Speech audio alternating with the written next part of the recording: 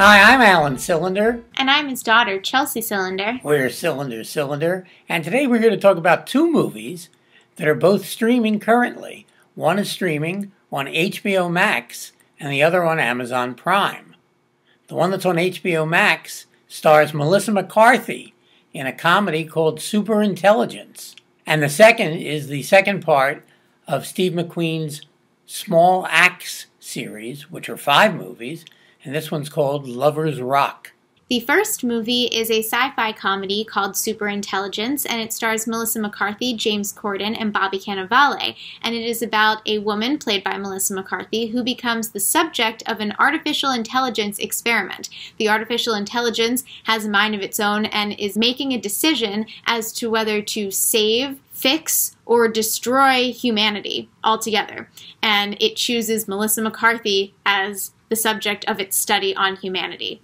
And I thought that this movie was fun and I enjoyed it. I didn't think it was great, but I liked Melissa McCarthy and I really liked Bobby Cannavale. He usually plays very dislikable characters, and here he plays a really fun loving, very light-hearted character, and he was really good in this movie. I think it's the best I've ever seen him. He is very loose and likable in this movie.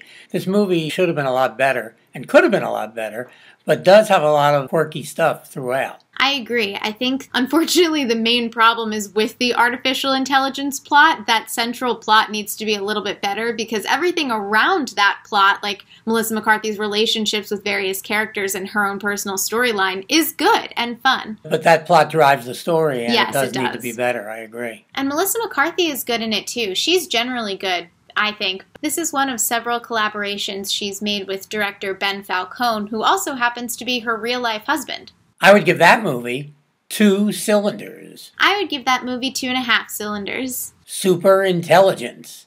The second movie, which is directed by Steve McQueen, Lovers Rock, is a movie difficult to describe and has actually very little storyline or dialogue. It has lots of music and it has lots of atmosphere and creates kind of a hypnotic state. And if you go with the film and it catches you, I think you'll really like it. And this is where we differ on this movie because I because I did not go with it.